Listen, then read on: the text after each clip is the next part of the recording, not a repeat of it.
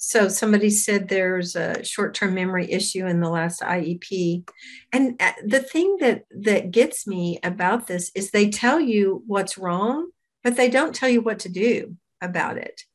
And that um, test kit that I was telling you about, that's going to let you know exactly where they are on the scale of you know can they do three four five six or seven where they're supposed to be typically if there's a short-term memory uh, problem they're around four to five.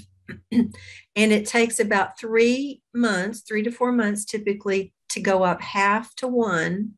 Um, and but you keep after it and things really change for that child. And it's it's amazing to see uh, a 12 year old that never could remember to take out the trash now all of a sudden is can do it because he's got the short-term memory to remember that and sees the mm-hmm. big picture and all of that. So that's the good good news. And somebody i i love this. Some some people come up to me after seminars at um, where i've been speaking or something and they say so when did you put the camera in my living room? Because i just described your child to a t. In my house. So that just I, happened today yeah, that's uh, that's funny. But it's and and one thing I want to encourage you is that you're not alone. That's that's the thing. This is happening uh, all over, but you're the ones that are chosen to have the information to make a change. Mm. Okay, so uh, somebody said, is there a um, testing that can be done to determine if my child indeed has auditory processing issues.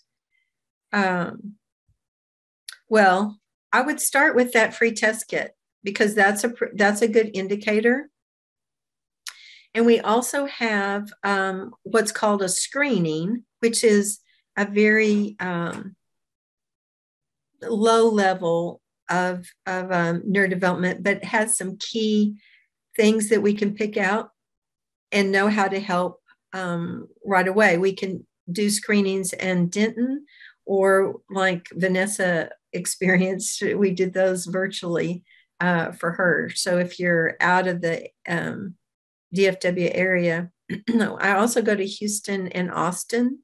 So uh, I don't know from where everybody is, uh, but that's one thing that you can do. And then um, but if you know your child has a pro, um, you know, a real issue that you need to deal with, uh, the interesting thing is sometimes there you're kind of focused on one thing as the issue, and then when you have a little bit more comprehensive evaluation done, you go, you find more root causes of that because they they kind of inter interplay. Like your auditory processing is going to affect your reading comprehension and that kind of thing. So, um, through a consult, we can get you information about programs that you can do at home for to make to make a change.